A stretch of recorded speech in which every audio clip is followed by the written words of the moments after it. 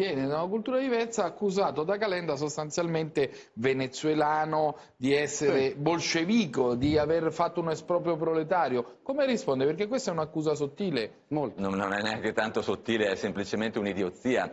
Perché Oddio. è per forza, ma diciamo le cose come stanno. Un, chi, chi, si è avvantaggiato oggi della gestione di un bene di Stato? Purtroppo esclusivamente eh, il privato che lo gestiva. Benissimo, chi lo dice? Toninelli? Non solo Toninelli, la Corte dei Conti. Sapete cosa ha dichiarato la Corte dei Conti? Che il contratto era illegittimo. Sapete che cosa significava? Che non poteva avere quelle clausole capestro qua. Come l'hanno scavalcato prima Prodi 2007 poi Berlusconi 2008? Salvini alla Camera votò a favore della legge Salva Benetton che la legificava ha detto che era illegittimo e quindi l'hanno legificato. Che cosa significa? Che ristabilire i giusti interessi, i giusti rapporti tra l'interesse pubblico e l'interesse privato significa che siamo di fronte ad uno Stato serio, uno Stato che è tornato a fare il proprio dovere. Bene, c'è un problema che possiamo spiegare subito. Con l'ingresso di casa, Cassa Depositi e Prestiti in autostrade, Cassa Depositi e Prestiti si accolla anche il debito che Aspi, che Aspi ha, questo è il primo aspetto. Secondo, i Benetton non è che sono spariti, i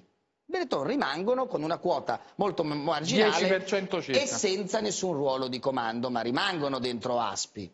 Quindi che razza di vittoria è alla fine? Perché lo Stato sarà quello che ci dovrà mettere i soldi e che si accolla pure il debito e gli altri investitori quanto verranno pagate le quote di Benetton che passeranno a cassa depositi e prestiti? Questo non si sa ancora. No, allora, lo Stato non si addebita nulla. Lo Stato entra attraverso CDP che CDP fa investimenti ad alta remuneratività alzando la quota di capitale, diventa quindi socio azionario sì. e dopo in pochi mesi diventerà maggioritario, ma non, o meglio, il socio più importante dopo pochi mesi diventa socio maggioritario. Significa che prendiamo la convenzione che era piena di articoli veramente infami per l'interesse collettivo, tipo quello che ti dava tutti gli utili anche se ti revocavo. Gli utili dal giorno della revoca alla fine della convenzione, cioè per vent'anni erano 23 miliardi, le stracciamo tutte perché è lo Stato che entra. Sapete cosa hanno perso Aspi e la famiglia Benetton grazie a questo straordinario risultato?